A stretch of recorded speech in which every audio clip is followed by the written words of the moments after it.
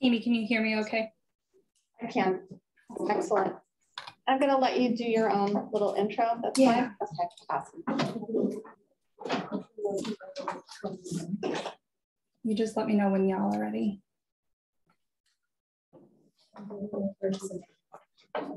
Chair.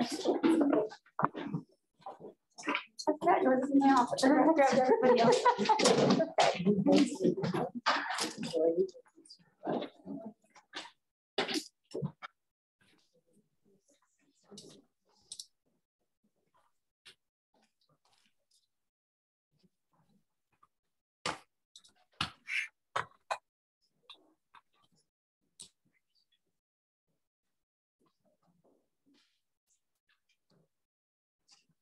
All right, everybody.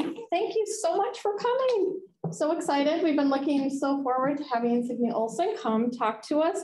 Done a lot of prep for this uh, presentation, talking to them about, you know, our expectations, questions, things we were wondering about. And so all, all of this has informed Signey's uh, talk for today. And because I always find it awkward to do an introduction for a speaker, I'm just gonna hand it over to Signey and uh, jump right in. Welcome. Awesome. Thank you so much. Hi, everyone. I'm Signey Olson. My pronouns are they, them, and she, her, and I'm so excited to be here talking to you all today. I am a nurse midwife and nurse practitioner. I am in Washington, D.C., and I'm also full-time faculty at Georgetown University in their nursing program. So I love getting to talk to other universities about the ways that they are promoting gender equity and inclusivity um, in their programs and do a lot of inter, um, interdisciplinary collaboration. So I'm thrilled to be here talking to you. Please feel free to ask questions. I know all of you submitted such lovely questions that we're going to talk about today, um, but if anything comes up, feel free to put that in the chat. I'm just going to get set up here real quick. All right, so we are talking today about ways that we can promote gender equity and inclusive academic environment practices. So I know you all have talked about this to some degree because I went on your website and we've got some really lovely language that you already have um, in place. So here are the objectives we have for today. Obviously there's lots of filling in the gaps in between these objectives, but our goal is to kind of talk about language and how we can provide a better experience for students and clinical students and on campus and off of campus, how we can communicate better through um, email and verbal communication and lecture and webcasts and all of that. So whenever I talk about this with any university or academic setting, we like to think about why this is important. When we look at the needs of the LGBTQ community, starting in undergrad all the way through graduate students, there's a few common themes that often come up. And one of those is this idea that we're doing all of this and we're having all of these conversations, but it's really only a small, small part of the work that we do or a small part of the students that we're interacting with, et cetera. And we want to kind of break down some of those barriers. So we want to acknowledge first and foremost that everybody who's listening to this, everybody that's in this room has interacted not only with LGBTQ students as a whole, but specifically trans, non-binary, or gender nonconforming students. Um, and sometimes, depending on where I'm having this conversation, some people might say, you know, I can't think of someone off the top of my head. And we want to hold space for the fact that there are many people who are not visibly out or publicly out. And so when we're having these conversations, we want to frame that through um, through that lens that we are having these conversations, we're making these really big recommendations and, and broad recommendations, not just for one or two students or you know one or two patients in the clinical setting, but really that the more inclusive we can be on a broad scale, the more comfortable individuals are going to feel to be able to express themselves, to come out, um, to have those conversations, etc. Um, So in, in our background, we know that LGBTQ students have a lot of differing needs, and some of them are the exact identical needs of their non-LGBTQ peers. But we wanna look at access to on-campus healthcare for, particularly for our undergrad, um, access to mental health services, counseling services. We wanna think about on-campus safety, and safety goes beyond just physical safety. That can be emotional safety, safety to bring forward concerns to institutional administration, um, obviously physical safety, walking around campus, near campus, and how people can go about reporting things like discrimination or bias or microaggressions um, within the institution. Particularly for undergraduate students, um, those who may be just graduating high school, we know that they may have decreased financial access. And we know that familial support is the number one protective factor against many disparities that the LGBTQ community faces. So we see that particularly with high school students and um, undergraduate students, meaning that when folks are just coming out into the world on their own, if they have familial support, that is a protective factor against things like homelessness, higher education, uh, suicide rate, health access, health insurance, um, amongst many others. So we wanna not assume what the needs of these individuals are, but we do know um, from research that there's some, some broad themes that will keep coming back. And Gallup had a, a great poll last year that I included here.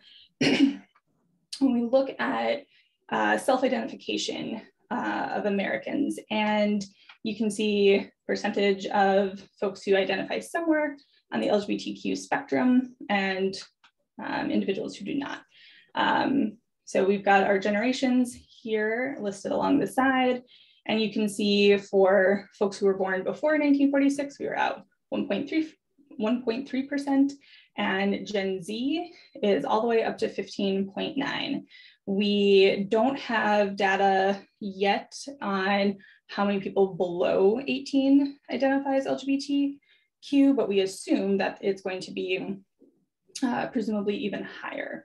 So going back to that, why this matters question in the beginning, we know that not only are students self-identifying more as LGBTQ, but we also know that students expect this content.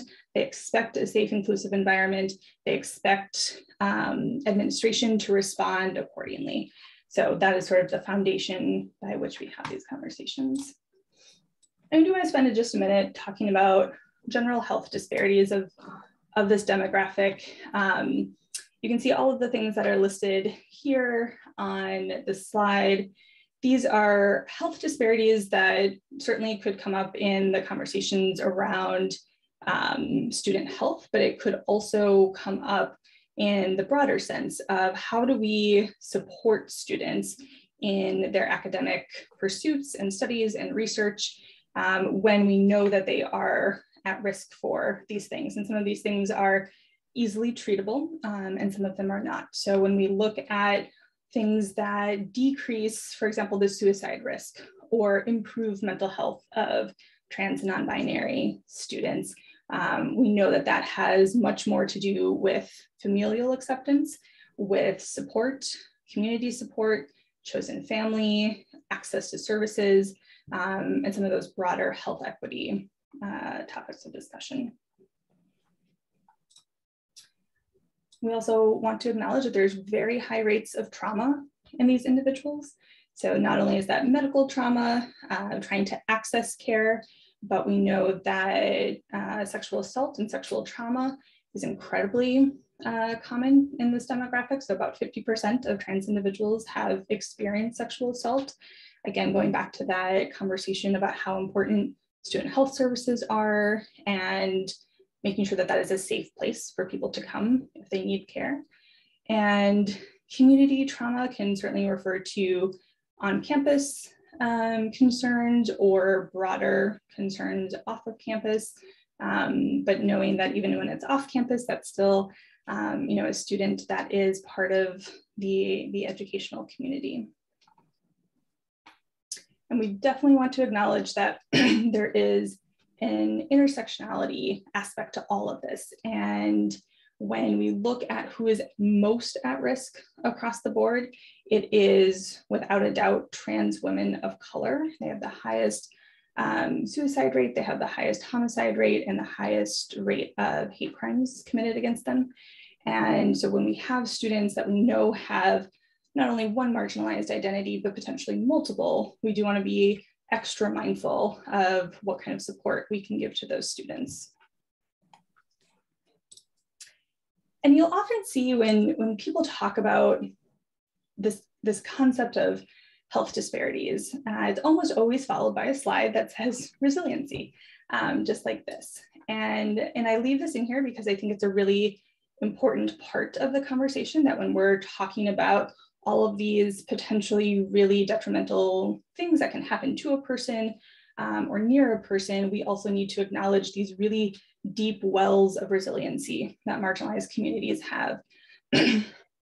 However, whenever we talk about resiliency, a lot of times it gets framed in this idea that, oh, wow, you know, yes, marginalized folks have all of these things going on, but look how resilient they are, how amazing.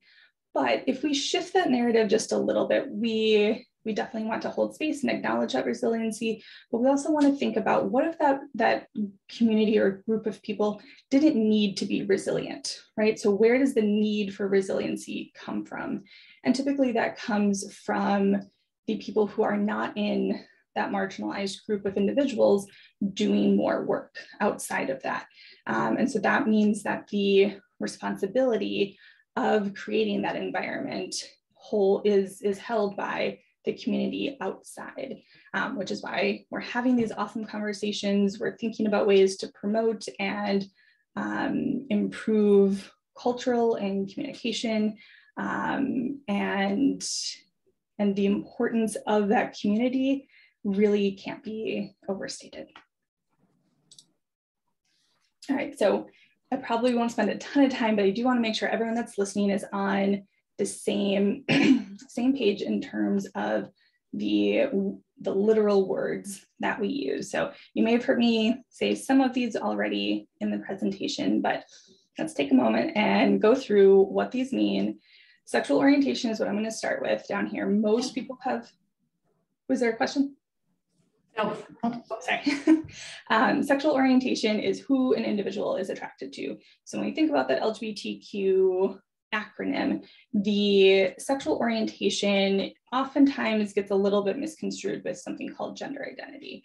So sexual orientation just means, um, you know, generally speaking, who that person is attracted to. Is it women who are attracted to women, non-binary folks, which we'll talk about in a minute, um, attracted to other non-binary folks, gay men, um, people who are bisexual, that sort of thing. And then we've got these two terms, gender identity and gender expression. So gender identity is how a person experiences their gender, which is an internal experience, has nothing to do with the way that they look outside um, or externally. So this person, any person may experience their gender as being female, male, both, neither. And typically people would say, I identify as male, I identify as female or man, woman, non-binary. And most people are going to, to identify with the sex that they were assigned at birth. So that leads us into this. And sex assigned at birth is all about the person who is doing the assigning. So it's a really intentional way to say this. So that's typically a obstetrician, a midwife, pediatrician, possibly the parents, but usually a medical professional.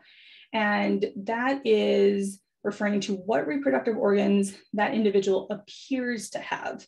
So generally speaking, we all know the two boxes, male and female, there is a third box, intersex, which we'll talk about in a minute. Um, and in reality, this may or may not be an accurate assigning. And again, the intentionality is there because it's not about what the person identifies at. It's what the medical industry has assigned that person. So the two ways that we say this are typically AFAB or AMAB, and that is assigned female at birth and assigned male at birth. So in the medical world, we often use that as shorthand. It's not perfect. Um, there's definitely some very valid critiques of that, but it's a short way to convey very quickly that this person was born with a penis, this person was born with a vulva. Now, again, there's lots of nuance to that, um, but that's how you may see it Signey, it's Amy. Can I ask a question? Yeah. Um, cisgender, can you say something about that? Yes, that's on the next slide. Oh, okay, awesome. Okay. Yep, good, good call. Um, so AMAB or AFAB gives us quick kind of clinical information. And then gender expression is more about the way in which a person expresses themselves externally. So everybody that's in the room that I can see, everybody that I can see on camera, all of us woke up this morning and we made specific choices, whether or not we thought all that much about them, but we made specific choices about how to get dressed, what clothes we were going to wear, were we going to put on makeup, were we going to put on jewelry, were we going to do our hair a certain way, etc. And some of us may not have given any thought to that, and other people may give a lot of intentional thought to that. And we all do that typically to express what we have as internal gender identity. So again, internal gender identity nobody else can see, but it's the experience of the person. Gender expression is what we see on the outside. And then the um, word that we were just talking about, cisgender, is statistically speaking, most people who are listening to this, um, cisgender is the opposite of transgender.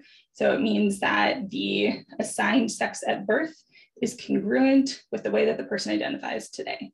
So if we have someone in here who says, the person that delivered me said I was a girl, I identify as a woman, that person would be cisgender. So there's that congruency there. And the opposite of cis is trans or beyond, um, which is an adjective. So it's not a noun. Sometimes it gets misconstrued as that. And that's an adjective that refers to an individual who has a gender identity, internal, that is different than what they were assigned at birth. So we might say that OBGYN got it wrong um, in sort of a cheeky way. So that person was assigned male at birth, but they identify as female today. So that person would be typically a trans woman. So trans woman, emphasis on the woman, is typically someone who was assigned male at birth and now identifies as female. A trans man is someone who is assigned female at birth, now identifies as a man. And so that if you ever hear trans woman or trans man, you can always, and you're having that moment of like, ah, which way is it going? The word that's in there is how they identify today. So we don't really worry about what they were assigned at birth. Any questions on that? Nope. Awesome. Um, and just a quick note, sometimes when people are learning language, they will hear words like transgendered, um, which we wouldn't say, we just use it um, as, as an adjective. Um, it's not a verb and it's not a noun, so we wouldn't say a transgender. And we stay away from the term transsexual. If you're reading research on this community, specifically research conducted in uh, Europe, we sometimes will still see the term transsexual. I definitely see patients who still use that word to self-identify. It's usually used in older trans women populations because when folks first came out, this was um, a word that was used very frequently, and therefore it's sort of a historical term, but not one that we would use unless we were reflecting language back to somebody. And you've heard me say the term non-binary, so let's define that. So that is an identity where the person really doesn't identify as fully male, fully female. Um, and if we think about gender as binary, so you've some of you may have heard the term gender binary before, essentially saying there are two options, male, female.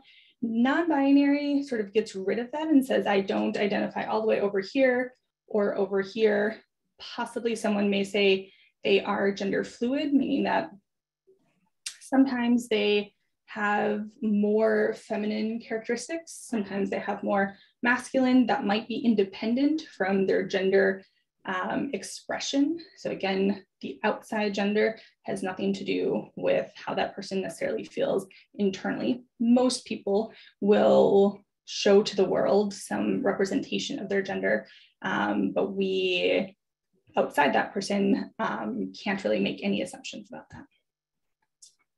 And then just a few medical terms that um, sometimes come up in conversation, particularly for clinical students, um, possibly if students were taking care of patients um, who were trans or non-binary.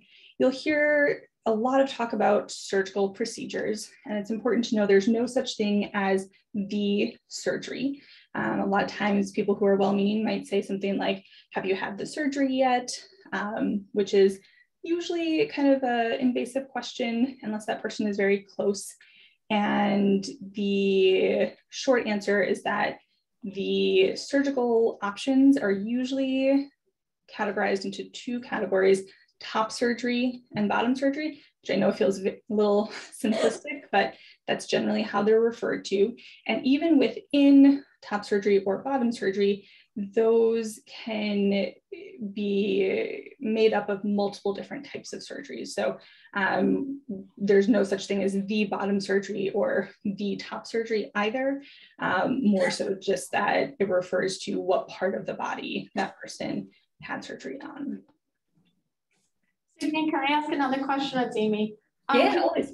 Can you say something about gender non-conforming, that terminology? It's I see it used a lot, but then it seems to be being used less. Yeah, I've noticed that as well. And it's a term that essentially says, you know, I'm, I'm not conforming to men or women uh, categorically. Um, but a lot of people I've heard are sort of shifting away from it because it has a negative aspect to it, which I'm not sure how that's all that different from non-binary. They're both starting with non. Um, I think the thought with gender non-conforming is this idea that you are rebellious or you are going against what you're supposed to be doing. Um, you're not conforming, you're not doing what you're supposed to. Um, that's a little bit of the conversation I've heard, but I definitely know a lot of people um, who do still use it uh, academically and personally. So it could come up in conversation, um, but I agree. I think I'm, I'm seeing it sort of slowly being shifted away from. Thanks. Mm -hmm. And I assume that most people listening to this have probably heard all the words on this slide, but um, a couple quick notes. So when we think about, you know, the L standing for lesbian, the gay standing, or the G standing for gay, we often think about those in very cis, cis, uh, ciscentric terms, meaning that we assumed that all lesbians, people who identify as lesbian, are cis women, so cis women who are attracted to other cis women. So two people with, um, you know, assigned female at birth. But the term lesbian can apply to anybody who's a woman. And some women have a penis and some women have a vagina. And so when we think about lesbian, especially from a clinical sense, um, when we were talking to our clinical students about, for example, taking a sexual health history or talking to a patient about their romantic or sexual partners, we can't make the assumption that when people say I identify as a lesbian, that they also don't have the potential for pregnancy or the potential need for contraception. Um, gay is generally historically has been used to mean men who are attracted to men, but also has been expanded to be a reference to anybody who does not identify as heterosexual. Um, so you may see cis women who say that they're gay, um, not binary individuals who say they're gay. It's sort of got a very, very broad definition now. Bisexuality is, is a piece that I talk a lot about to my clinical students because there's a lot of myths surrounding them in, in particular around sexual health history, um, sexual practices, et cetera. Um, but bisexuality is not partner dependent. So if there is somebody who is a cis woman currently partnered to a cis woman, but that person identifies as bi, it doesn't make them any less bi while they're partnered to that other woman. Um, they still have attraction to more than one gender. And um, bisexual students and individuals in general have a lot higher health disparities in certain areas. Uh, the thought is that it's related more to not feeling like they have their own community. Um, many people don't necessarily understand bi as its own valid identity. A lot of people think of it as a phase or an experimentation, or, you know, well, this person is bi for now until they find the right woman or man, but it is its own valid um, identity. And people who identify as bi oftentimes feel very isolated because they feel like their identity may be erased if they're in a, uh, a relationship that may be very straight appearing from the outside. So if you're out to dinner um, you see what looks like a man and a woman, the assumption that most people have in their brains is that couple is a straight couple.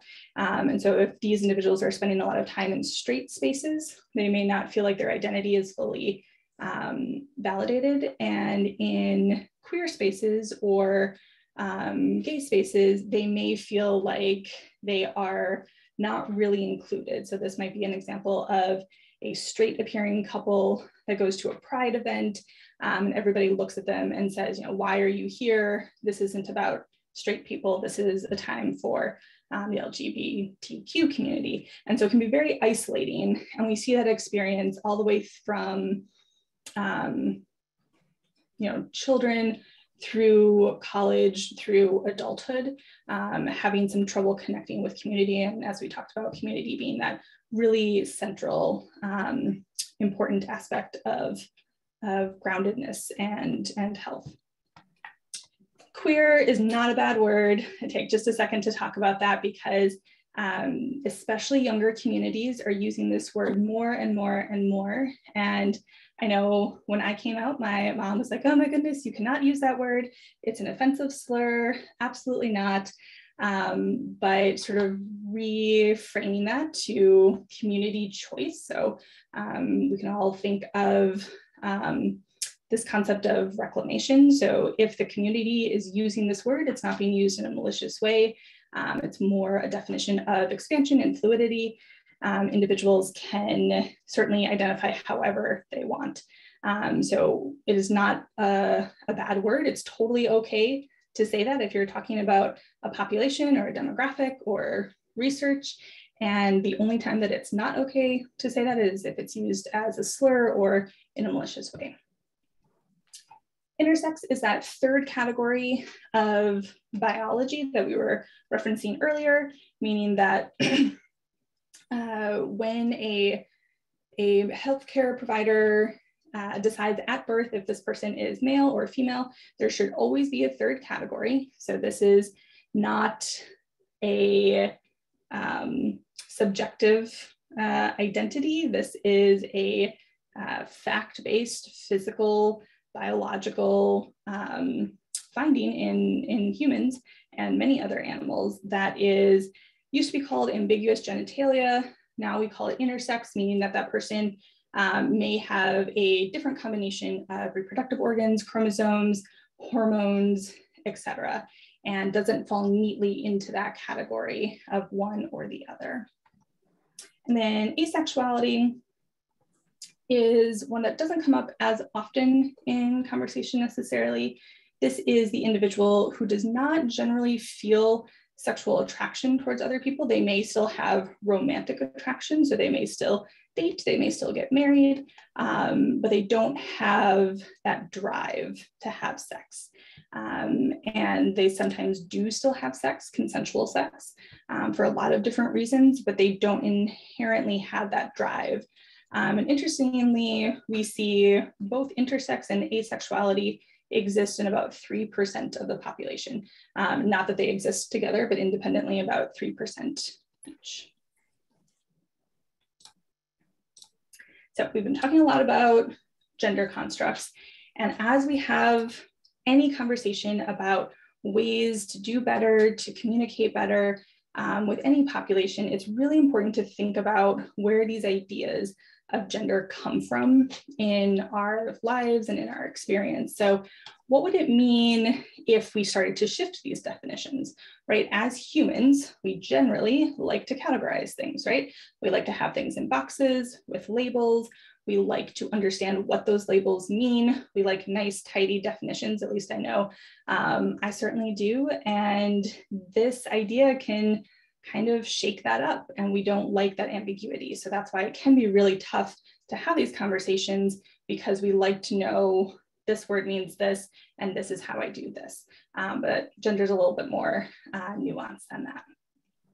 So a, a self-reflective practice that I like to have people consider is think about your expectations of the different genders. So we'll just say there's two in this exercise. So think about those expectations of men in society. How does society expect them to behave, speak, dress? Um, you know, what traits are they supposed to have and why? Where did those come from? And you know, vice versa with women. Why are women supposed to dress a certain way, behave a certain way, speak a certain way? Where do those narratives originate from? Where do they come from? And certainly a lot of people will say that began in childhood um, in that messaging. And I would argue that it, it generally happens even earlier than that. We're gonna talk about that more in the next slide. Um, so when we think about and reflect on these expectations of gender, we can come up with a whole lot of questions about why things are the way they are.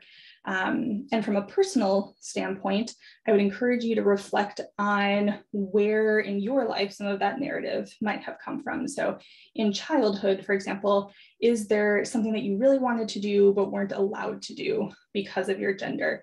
Um, are there ways in which you were treated differently than peers of the opposite gender? Um, a very benign example that I share during this exercise is I really wanted to play hockey as a child. I grew up in the Midwest um, near Canada and I really wanted to play hockey.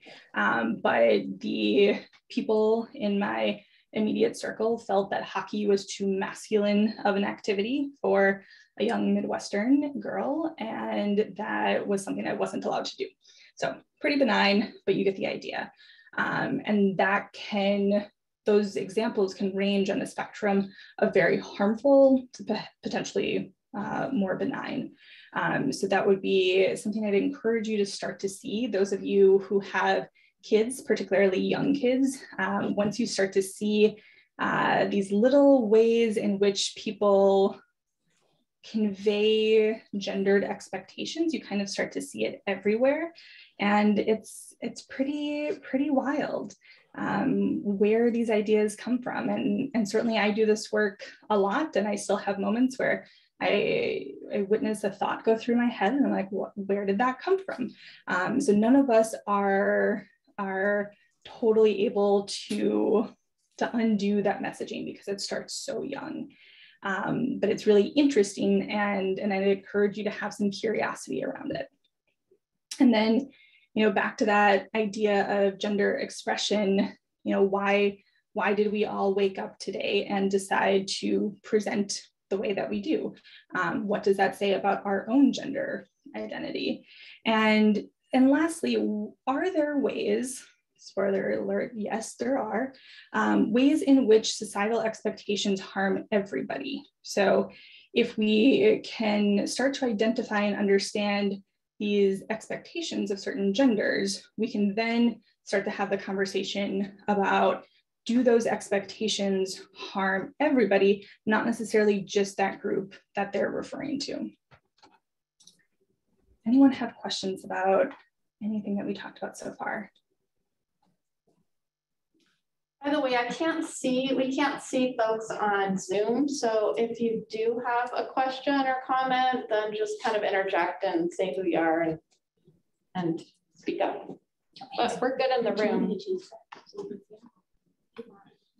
And I've got my chat up, so if, if those of you who have Zoom open want to private message um, and not ask uh, the group, I'm happy to have, have you do that as well. So when we talk about unnecessary gendering and we start to look at these, um, these concepts more broadly, we start to see gender kind of everywhere. And, and certainly I am not, not immune to this. Uh, when you go to the grocery store, right? You see people, you automatically make assumptions about who that person is, what their gender is. And many of us, without thinking, will say, you know, that man over there, or that woman over there, um, etc., without knowing uh, personally the person that we're referring to. In society, we have all of these pre-established roles or scripts um, particularly in relation to what does it mean to be someone's son, daughter, sister, brother, mom, dad, husband, wife.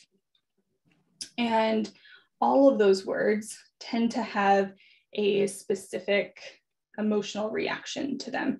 So if we did a writing exercise where you write down the characteristics of you know what what makes a good son, daughter, sister, etc., um, they would generally fall in, in these, these societal themes. And I love this quote by um, Kate Bornstein that talks about gender and, and, and how any question that has two answers probably needs to be expanded a bit more. When we talk about when gendering starts to happen, um, as a midwife, I see this a lot. So an example that's really personal to me is the anatomy sono. You know, we see people at 20 weeks and we get so excited um, when we can say, is this a boy or a girl? When in reality, we know that that may or may not be how that person identifies as they become an adult. And um, you know, gender reveal parties, I think, are a really uh, excellent example of, of how we we put these gender norms and expectations on on babies when they're in utero and then when their genitalia does not end up being what we thought it was going to or something unexpected happens we see something like this um, this is a clip from a, a gender reveal fail that um, was supposed to have pink or or blue balloons and instead the person put rainbow balloons in. And you can see this sort of uh, this theme of why why why do we have this continued obsession with gender? Um, why are we so excited to put all of that societal pressure of whatever gender the baby is onto an infant who has no control over this. Um, so I would argue that these conversations start very, very early and inform the ways in which people believe it's right or wrong to be masculine or feminine. All right, so now we're gonna switch more over into conversations in the academic setting and talk about ways that we can be more inclusive for, for the students that you all work with. Um, it sounds a little bit uh, removed potentially, but we want to start with looking at policy statements and and broad institutional statements. So I pulled this from from y'all's website and uh, looks great. Definitely has you've got lots of areas on your website that are dedicated to inclusive research, inclusive teaching practices, and we know that that's where it has to start. So when mission and values are congruent, we have a foundation on which to stand to uh, be able to have these conversations and make meaningful change. We know that student voice is super, super important. Um, and sometimes those voices need to be heard more. And in some institutions, um, they have lots of avenues to be able to be engaged and have those discussions. So um, you know, in that can be in an institutional setting, that can be in broader organizational settings, but having some avenue in which student feedback can clearly make it um, to the individuals who have more power um, is vital if we want to have a student-centered approach to diversity. And then lastly, just you know, honoring that this is an ethical commitment and that uh, the stories and narratives of historically oppressed uh, communities very much deserve to be shared. And you know, we do have to sort of reckon with the idea that acad academia has not always been a welcoming space, and we get to be the ones in charge of that to shift and shape that um, into a very different type of experience for the learner. So when we look at the kind of different buckets that we want to focus on, these are the four that I kind of kind of focus on. Um, and they might shift and they might be a little bit different year to year, uh, school to school, but I want to look at curriculum, what is actually being taught to the students. We want to look at areas of scholarship, and I know you all are um, you know, very invested in research opportunities. So what do those research opportunities look like for students? We want to look at the day-to-day -day experience of, of queer students and what does that look like in terms of their peers? What does that look like in terms of professors and mentorship? And what does that mentorship look like beyond um, when those individuals are alumni or they are, are coming back to collaborate, et cetera. We wanna look at diversity and diversity goes far beyond um, marketing and, and website language, but that goes to faculty members and that goes to the broader student population. How are the recruitment processes for bringing in students who are diverse? Um, what are those uh, recruitment policies for faculty? A conversation that I've definitely had with a couple institutions is a issue with hiring very diverse adjunct faculty, but not very diverse full-time faculty and what message that conveys um, when we're talking about reparations for, for historically marginalized populations who have been harmed. We know that um, continuing to put people in roles where they don't have full access um, and when they don't have the ability to have a full voice can be harmful and kind of perpetuate the issues we've seen. So when we look at this is just sort of general students who are either on campus or off of campus. We know that healthcare, all of those health disparities that we mentioned are super important. We wanna make sure that those providers who are providing services in the student health arena have training, understand the language and, and the needs of these communities. If student health does not provide gender affirming hormone care, um, considering offering that, there's a lot of um, universities that are beginning to offer that so that their students can stay on campus and not have to trek to multiple appointments across the city. Um, obviously campus housing, how that works, is there physical safety, who can incidents be reported to, visibility on the website, not only in um, photos, but in language. Anytime we're talking to other faculty members or um, coordinating housing, coordinating classes, community events, et cetera, making sure that we have consent from students to disclose identity. I've worked with students sometimes who um, sort of unintentionally became a poster child or had their identity um, disclosed without quite being ready.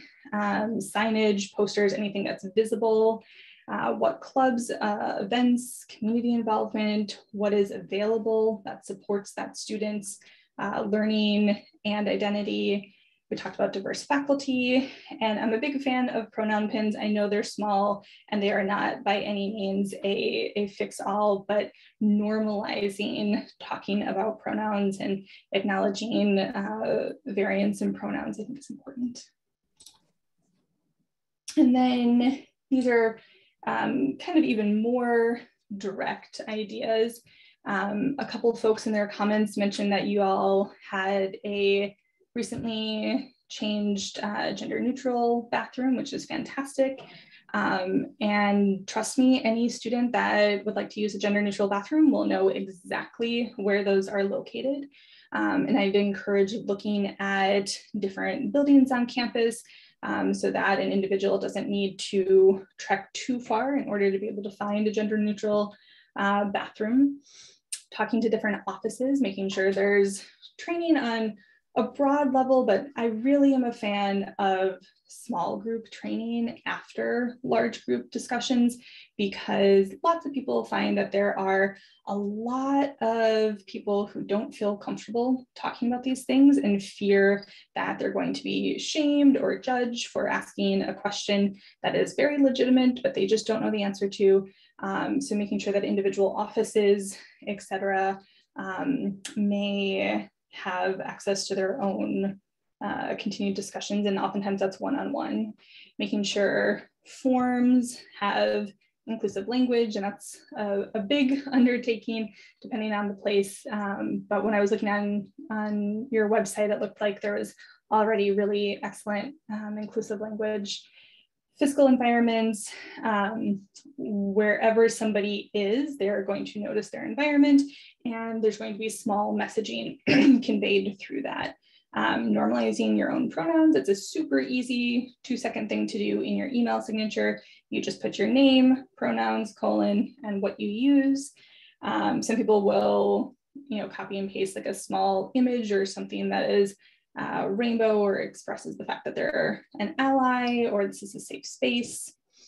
Really recommend doing the sh uh, secret shopper experience if you are able to, essentially having a person who uh, poses as a potential student who wants to come apply um, or take a class and just sort of uh, observes, you know, what was it like if I was a student sort of start to finish in that process, where are ways, and it's not through a punitive lens by any means, but where are ways that we can improve I had a question in the chat here. At what age do we recommend children be asked what pronouns they prefer? Awesome question. It changes, I would say it's very child dependent as, as uh, many of those conversations are. Most children will have a sense of what their gender is by about age three. And it's not always necessarily about asking as much as it is exposing children to a variety of pronouns. So telling you, know, reading a storybook where the main character has various, you know, uh, pronouns, having family members or friends talk about that openly usually leads to the child saying something like, um, you know, I think that I want to go by she now. Um, and just sort of affirming that experience. And children's gender can absolutely shift throughout their life. Um, but we know that age three is usually when they start to have a more grounded concept of what gender is.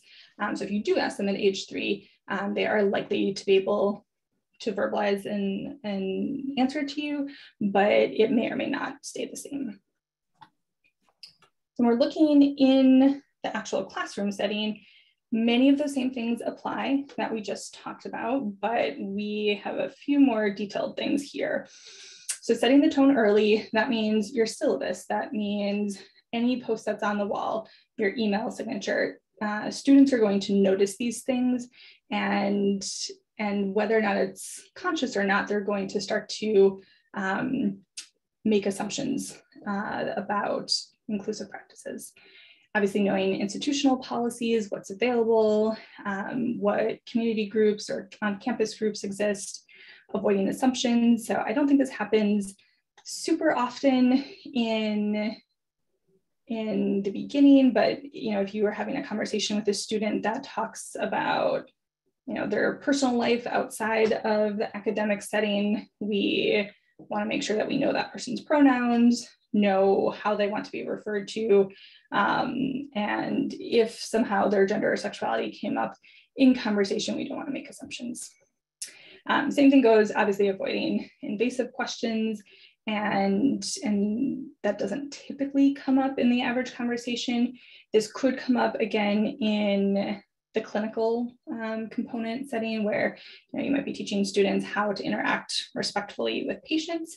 And pretty much everything that we talk about today applies just through the lens of patient care, uh, email communication, um, really looking at what assignments and readings exist in the course. So maybe that is an assignment about the topic at hand, but through a lens of health equity and asking them to um, can consider, you know, if they're doing a conversation on dermatology, how does that discussion change if we are referring to the LGBTQ community? Um, in one of the courses I teach, we do that for every section in primary care. So they have to choose a demographic um, that might have an aspect of health equity that we need to pay better attention to. So, for example, in dermatology, they may choose racial disparities in dermatology. In um, urology, they may talk about uh, post op trans individuals and disparities in the way that people access them. Um, again, normalizing pronouns and asking students how they would prefer to have those interactions look. So that might be teaching in a classroom where another student misgenders a student. Um, now, sometimes in the moment, you just do the best that you can and you may correct that person. You may not call out the person who did the misgendering. Maybe after class, you ask the student that was misgendered, hey, I noticed so-and-so used the wrong pronoun for you.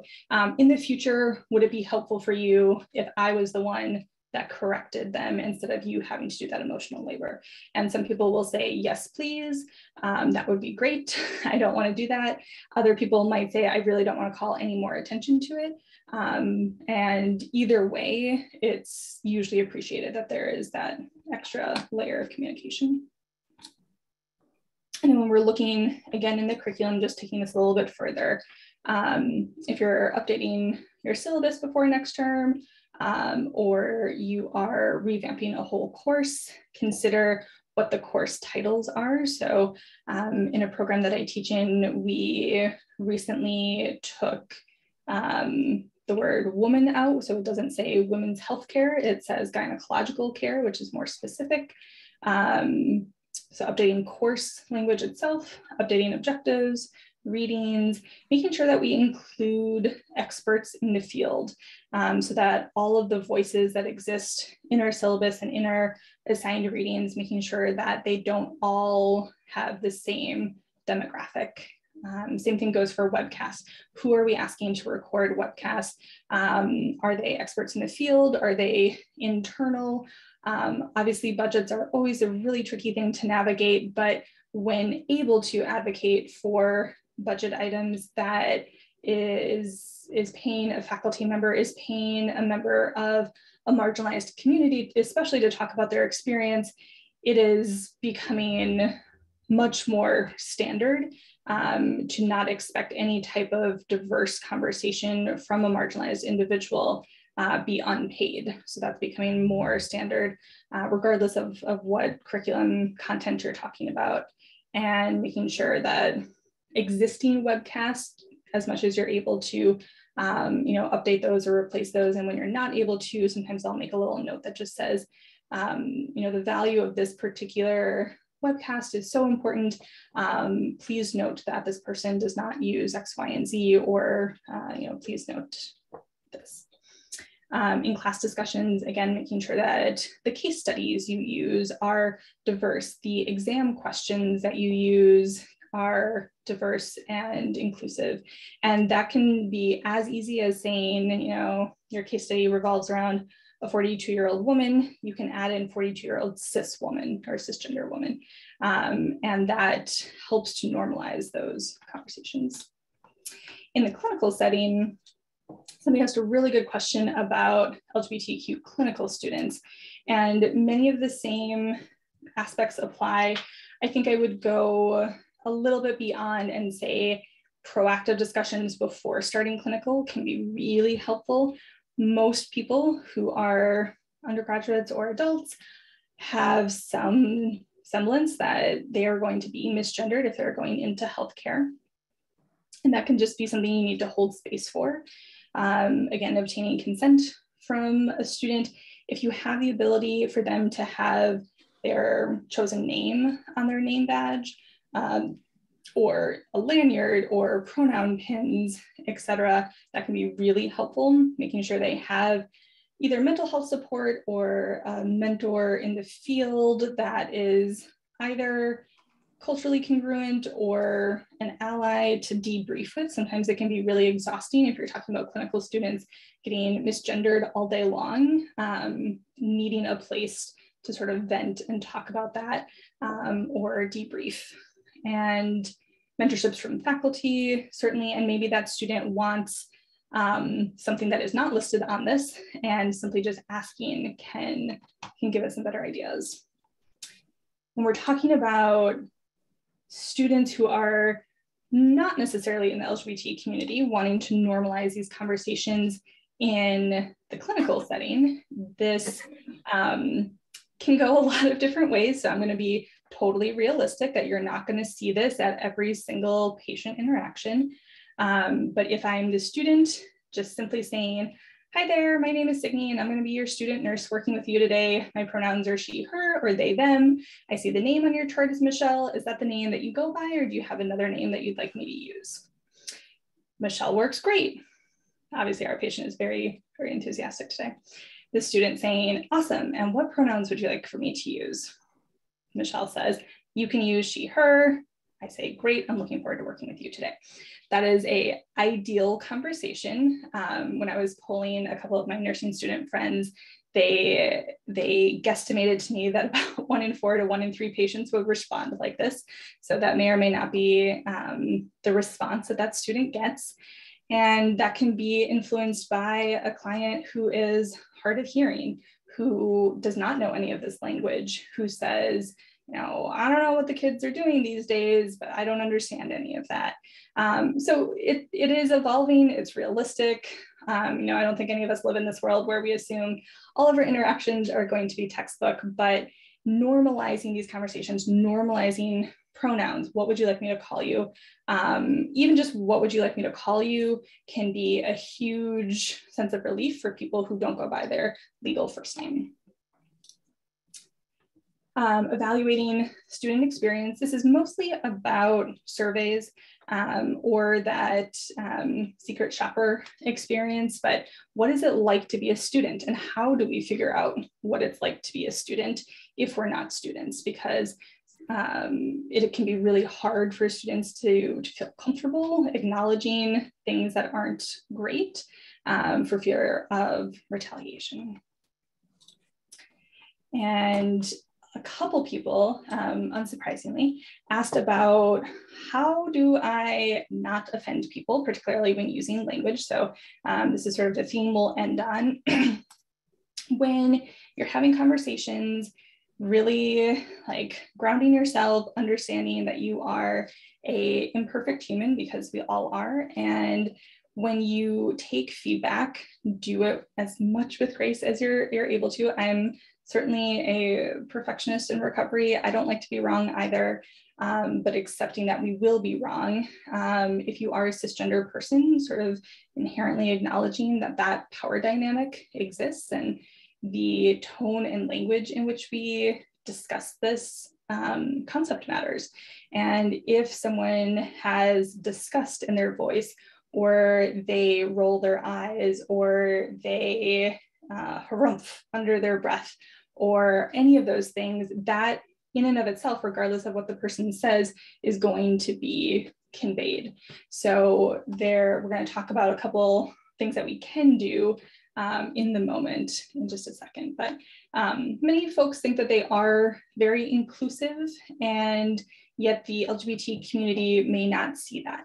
Um, and that can be really hard when we're trying really deeply to do the right thing, say the right thing, and we're still messing up. Um, and just acknowledging that uh, verbally and broadly. Um, you know, I'm an imperfect person. I'm going to mess up. Please know that is not my intention, and I am more than happy to stand corrected um, and do better this is what we're doing currently and just you know going back to that um, concept we said earlier about repeating frequently and supporting staff for whom this is super new um, it takes practice none of us um, who teach this material learned this overnight this is you know, a long time in the making. Um, but we do know that interaction, interpersonal interactions and language um, tend to be the single most um, important thing, which is great because it's free. Um, this kind of goes back to what we were discussing above, so I don't think we need to talk too much about this, but again, just avoiding stereotyping that you might see in academic or clinical setting. These are some lists of things that may unintentionally uh, be said, and I want to point out um, this third one from the bottom here is one that I see not infrequently. Uh, when people learn a person is trans or non-binary, they might say, I would never have known you used to be a girl or a boy. Um, and that can be really invalidating because that person probably feels as if they never were a girl or a boy. Um, and some of these are just common sense and, and respectful communication. And we want to avoid things like real man, real woman. And, you know, we talked a little bit like um, of this bullet point here, but it is not new. None of these identities are new. They've existed for as long as humans have existed. And just because we are seeing it more now in the media makes people think that it is increasing. Um, but it is more about the, the broader population having better language to self-identify now. So on the tone of language, these are some options. So you've heard me say some of these in our discussion today. Um, you probably heard me say folks or y'all or everyone. Um, definitely, I know a lot of my, my colleagues in academia have a tough time with folks or y'all because it feels so informal. Um, and I would encourage you to just reframe it a little bit that it does sound those things sometimes, but we can make it more formal and we can do it through a lens of gender equity or inclusion. Um, we want to avoid things like preferred pronoun or name and just say, this is so-and-so's pronouns, this is so-and-so's name. We could say chosen name.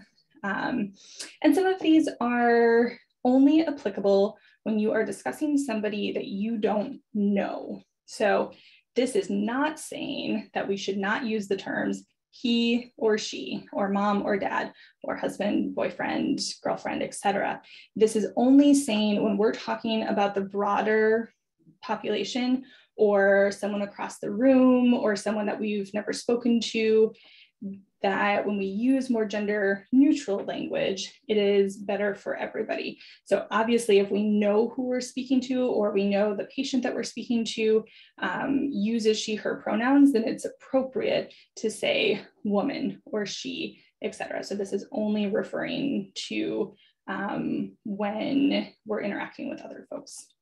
Um, and then a quick note on clinical setting language the terms sperm producing individual or person who produces sperm, person with a uterus and ovaries, et cetera, that's really only um, appropriate clinical language when you are referring to a sexual health history taking. So if you had clinical nursing students that you're teaching to have some inclusive information or uh, discussions with, really we're only asking about this because medically or clinically we want to know is that person at risk for pregnancy? Or do i need to talk about contraception etc um, we certainly don't want to reduce someone to um, their body parts um, but sometimes when we're taking a sexual health history it can be um, better to do that. And then lastly um, this is the model that i teach that's called spinach in your teeth which is uh, created by um, a human named Jay Smooth, which asks the person to consider that if someone points out a behavior of yours,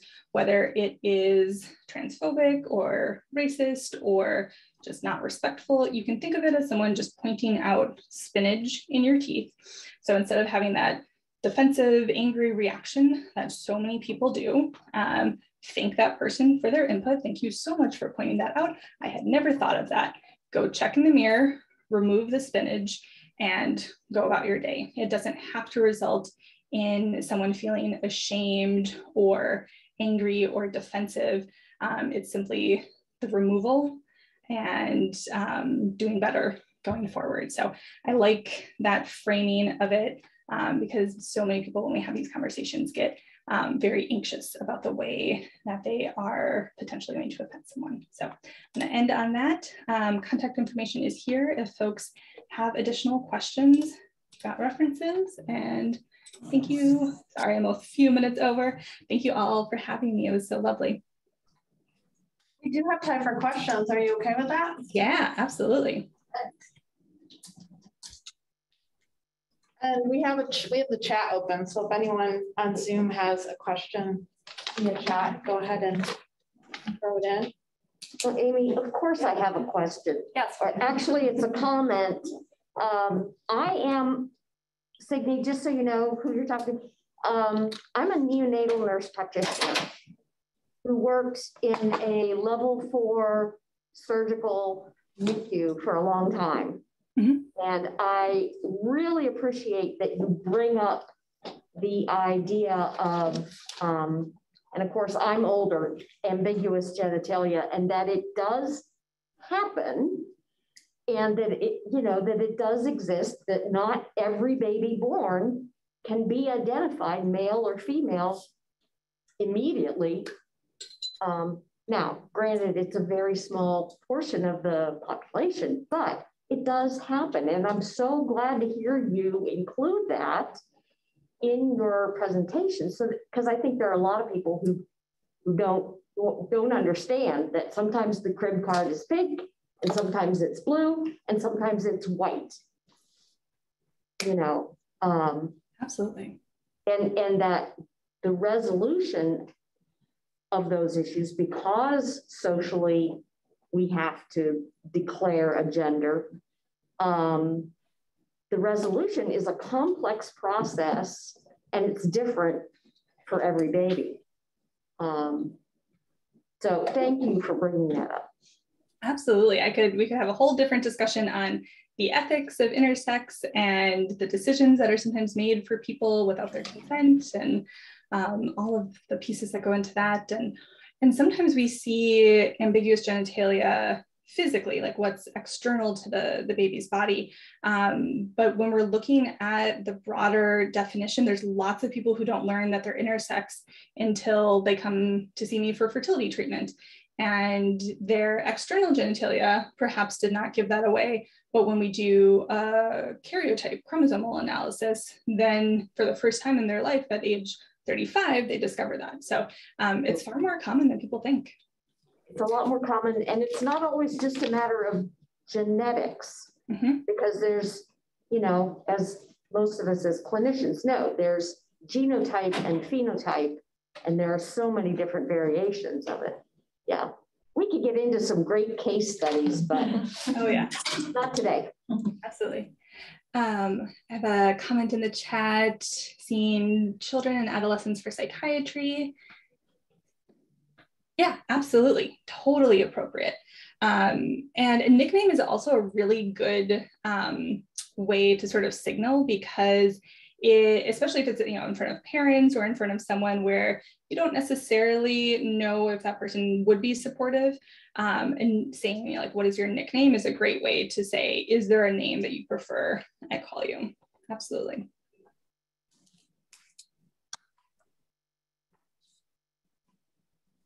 Other questions, comments, thoughts? I mean, I feel like my head is like so full of so many ideas and I think about this stuff a lot. And oh, you Oh, yeah. still have introduced many, many new ideas. I, and it's constantly something I'm thinking about in my social life when I interact with my friends and talking about their kids and um, and I try to I try to be sort of educational um, across all spectrums of my social networks, but it's a challenge sometimes because I have a lot of friends right now that are like, well, you know, these kids are just exploring, they don't really know what they're what they're all about, and they're gonna like settle on, you know, boy, girl, or you know, straight, gay along the way. And I try to expand their ideas about the spectrum of experiences and identities. And so it's always it's always a challenge. Absolutely. One of the the largest research studies on sexuality, um, I believe, said that over you might actually know this closer than I do. Um, I think it was over 20 or 30 years um, people's sexuality and how what words they use to identify changes something like 80% of the time um, in that one cohort. And meaning that some people at some parts of their life felt one way. Now, there could be a little bit of bias, obviously, um, in who is being polled there, but um, yeah, and children is, is I think, such a heated topic in, in the, the area of gender inclusivity because absolutely children do change their minds. Um, and also, we know that by age 18, if a child does identify as um, either transgender or non binary, they have um, less than 1% chance that they will go on to identify as something other than that in the future. And that research also speaks to people moving from identifying as, for example, a trans man to non-binary. So it's probably very low. Um, I had a great comment in the chat here. I so appreciate you bringing that up. Yes, it can be very insensitive, refer to that person.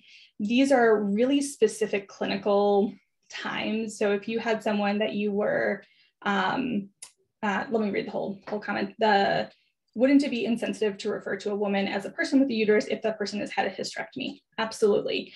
Um, so when this sometimes comes up, we see it can be appropriate when we're talking about things like fertility and sexual health. Um, more so when you already know a little bit about that person's um, background. And the time that I use it the most is when I am doing patient education. So if I'm talking about fertility options that involve two people with a uterus, for example, is when I might use that phrase. Um, and you're absolutely right. We wouldn't want to use that to refer to all women because many people have had hysterectomies. Um, many people don't have ovaries. Many people have one but not the other. And we can't make assumptions about that um, on someone's age or gender, etc. Um, so yeah, it's a very, very niche uh, time that it would be uh, appropriate to use. Uh, Amanda. Somebody here? Uh, someone has their hand raised on Zoom. Hi, oh. hi there. Hi, so I'm not at UB. I graduated from UB a few years ago. I am the director of an education department for a home care company. Mm -hmm um, local in Buffalo. Um, and I would say it's a less progressive environment, maybe not for lack of willingness, just that it, it in general, it's a less progressive field. It's more old school, including like who works for us, but just regulations in general are less progressive. And like I said, not for a lack of willingness, I don't think. And so, what suggestions do you have for an environment that's maybe less ripe for accepting this sort of information and implementing it? Yeah, are you thinking that it's it's it's accepted by the people that work there but just not well implemented i i don't think it, it i i bet it would be okay. yeah yeah i think i i always recommend starting with conversations and you know like a needs assessment so there are some areas where it might not be as um, forefront like it might not be priority. Um, and that's okay. All fields you know work a little bit differently. But starting with conversations about you know do we take care of clients who are lgbtq and if so what feedback have we gotten from them? Is it that we're rock stars and they don't have any issues with what we're doing? Awesome. Um, or is it that their care provider is misgendering them or wanting to you know ascribe certain gender characteristics to them etc um, so sort of figuring out what the, the needs or, or issues of the community are. And then conversations, I really think all conversations um, around inclusivity really should stem from that foundation of gender that we talked about, sort of like breaking down those gender bias, gender norms, um, why are they harmful? It's not just about the LGBTQ community. So when we teach this and we're, we're explaining to people who are cisgender, who are not part of the LGBTQ community, they oftentimes respond better when we are connecting it back to why is this relevant to them. Um, so it's not that othering of, you know, this community is so high needs and high maintenance that I have to go out of my way in order to do X, Y, and Z. Um, it's more about these are things that are good for everybody. Um, and this is the way in which, you know, gender norms have potentially harmed you personally or harmed our community, society, whatever. Um, and then, you know, really easy ways are pronouns like in the signature um, and forms. I think forms are one of the easiest actionable things that you can do to say, um, you know, even just adding like, you know, sex assigned at birth, male, female, intersex, you know, nickname, chosen name, name you wish to go by on the form can help designate um, very easily that you are a human or an organization that is safe to have those conversations at, um, and then kind of working your way up. Great, thank you. Yeah. Um, comment in the chat, can you talk about dead naming? Yes, absolutely. So the term dead naming is one that refers to people who are using the name of typically a person who is trans or non-binary or uses a totally different name in their day-to-day life and people using their old name or their former name or birth name.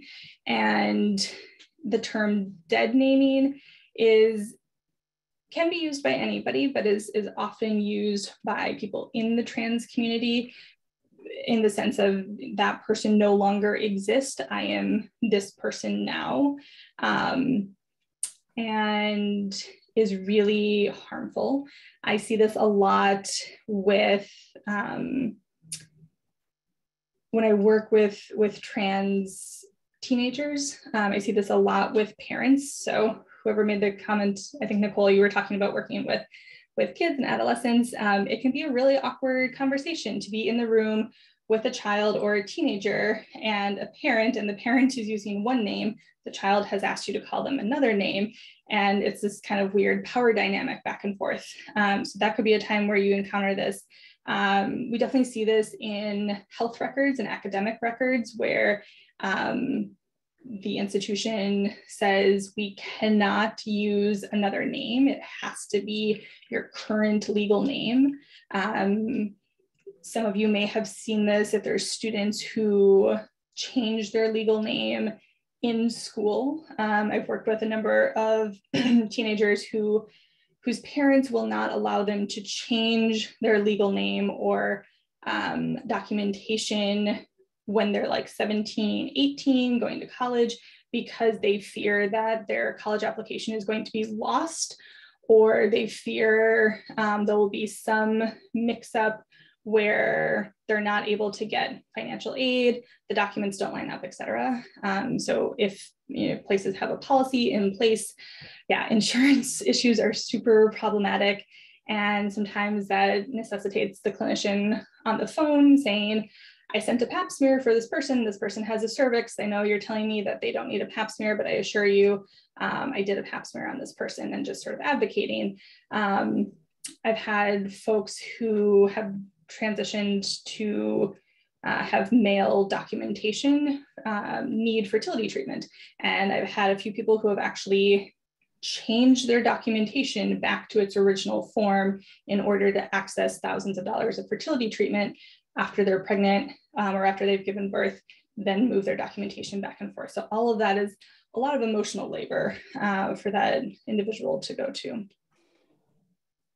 So long story short, dead naming never appropriate um, is something that is sometimes accidental or in, unintentional. Um, so that could be like calling someone from the waiting room or on a, a roster, not knowing uh, that they go by a different name. It can be very painful for trans or non-binary people to hear if they're assuming somebody is going to use their chosen name. So if there are forms that have a chosen name field, making sure that that gets to where it needs to be um, so that the clinician is not assuming um, otherwise. Good questions. I have a quick question, yep. maybe not a quick answer. What, do you think about in terms of cancer prevention? So we're seeing that in all age groups, right? So if you think of testicular cancer, ovarian, uterine, prostate, and how do we approach the individual in a clinical situation so that we can, they may be a trans woman, trans man, and how do we approach this so that we get the right screening done? Love that question. Yeah, reproductive cancers are higher amongst all uh, trans men um, who have not had any surgery. Trans women, there's a little bit of a question of whether or not estrogen therapy reduces prostate cancer risk potentially, um, but definitely in trans men, we see these disparities pretty significantly. And the biggest reason that people cite is that trans men are not feeling comfortable when they go to see their primary care or GYN provider. And that goes back to trauma informed training for clinicians and gender inclusive training for specifically people who do pelvic exams and pelvic care. Um, so I do a lot of that training with students, clinical students I work with of what language do we use? How do you ask for consent? What body parts do you, or what language do you use to refer to body parts? Um, lots of different layers and that. Could talk about that for a long time.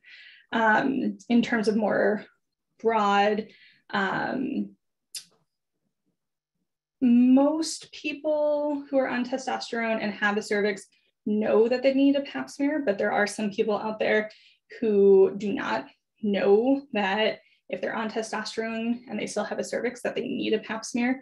So reducing um, or improving knowledge about one's own body and sort of what that plan looks like. I still think that the number one thing I see in, in clinical practice is folks coming in saying, I've never had a pap smear, I haven't had a pap smear in 10, 15 years because my last discussion with a provider was so traumatic. Um, and then in terms of things like mammogram screening, that's another one where it comes up pretty often. It is super tricky because I'm not usually the one doing the mammogram, obviously, and then I have to help prepare that uh, patient to go to a different facility. I don't have control over who the tech is, et cetera, and that can be really triggering for people. Um, we don't have great research yet. So another uh, harm reduction strategy is research institutions. So I can think of, you know, 50 different amazing PhDs or um, DNPs for students that revolve around these topics. And, um, you know, one of them is, should we be doing mammograms for, for trans women? Um, what do those healthcare risks actually look like? Um, are they higher than cis men, but lower than cis women? When should we start to do them, et cetera? Um, and should we be doing any type of ultrasound chest screening in place of the mammogram for people who have had bilateral double mastectomies for gender affirmation? And that procedure is different than bilateral double mastectomies for people who have had a history of breast cancer. And so we can't necessarily compare those two groups easily. Um, a particular research interest I have that I've not seen really go too far is that some research suggests a correlation between uh, transgender or non binary identity of AFAB individuals who haven't had surgery, so folks with a uterus and, and ovaries, and whether or not they have diagnosed or undiagnosed PCOS or polycystic ovarian syndrome, which we know increases rates of endometrial cancer. So if that individual has undiagnosed PCOS and is on testosterone, in theory, their, their risk shouldn't be all that different than if they were on uh, combined hormonal birth control pills, but um, we don't have any research on it. Um, so if we have a potential correlation between PCOS and non-cisgender gender identity. Um, is there something more to explore there? So um, I don't know, that was a very long-winded answer to your question, but we have a lot of work to do in reproductive cancers. Definitely, thank you. I have maybe one final question, it's 125. Um, what advice do you have for folks to be good allies, advocates, particularly in um, environments where it's maybe not going to be received very well? So you know, in a, a, clinical situation where there are, you know, other people on the team that are not not affirming, how do you intervene diplomatically, effectively, and all that? Yeah. Are you thinking also in like the clinical setting with like preceptors or people that they're working with?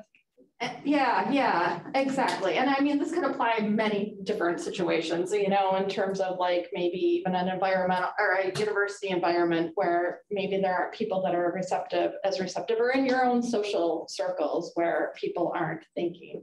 Yeah, I think a, a, big one that we we mentioned briefly is asking consent for the person that you want to advocate for. Um, I know I've definitely had times in my life where I got on my you know advocacy high horse, thinking that I was doing good and. Uh, you know, defending someone when they had the wrong pronouns used or the wrong name used, or I thought there was discrimination going on. Um, and then later came to find out that that person would have much preferred I just kept my mouth shut. Um, so I think knowing what the preference of the person that we're trying to help um, is, and that can be proactive conversations.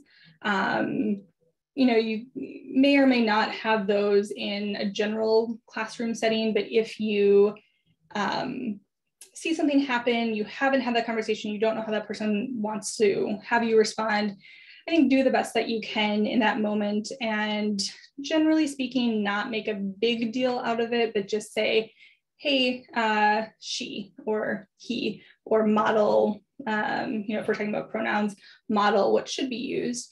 And if um, you have an opportunity to debrief with the person afterwards, just saying, I didn't know if you wanted me to say something or not say something. I didn't want to make it a big deal and put you on the spot, but in the future, you know, how can I best support you? Um, I think that's really helpful advice that my younger self would definitely give.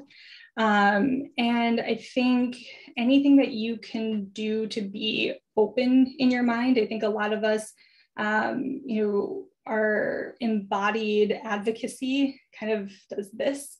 And we really want to be the person to help and to to do the right thing and being really open to feedback um, i think is is my second most important aspect because we i'm thinking of the very first time i did a, a pap smear on a trans guy. Um, i like had all my ducks in a row and i knew what language i was going to say and i said something awkward anyways. And afterwards i had an opportunity to say to the patient I'm, I'm just curious, was there anything I could have done in that clinical scenario to better support you or make this a more comfortable? Um, and he said to me, actually, that was like the best pap smear I've ever had, but you said the word vagina, and that really threw me for a loop because I don't reference my body that way. And in the moment, of course, my brain was like, ah, I knew that. Why did I say that thing? Um, but what I said to the patient was, thank you so much for sharing that. So I think that openness and that willingness to be wrong, um, which none of us like to be, and definitely our nervous systems can have that sort of heightened response. But most people in the LGBT community are really forgiving and understanding if we quickly recognize it, make note of it, and continue on. What they, the research is pretty clear that what they don't want to happen is, oh my gosh, I just went to that training with Signey. I can't believe I said that. And they make it into this really big apology, um, this really big thing.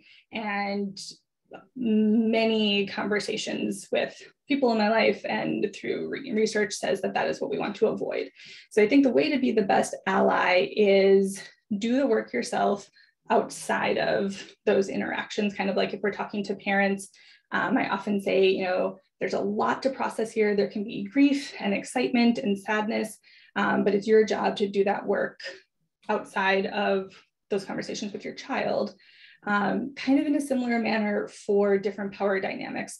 Um, you know, as a white person, I need to do my work um, to to be anti-racist, but I need to do that on my own. As a cisgender person, um, you know, I would say folks should be doing that work on their own and utilizing resources when appropriate, but not um, not having the expectation that the marginalized community is going to necessarily be the one filling in all the gaps and doing all of the explaining.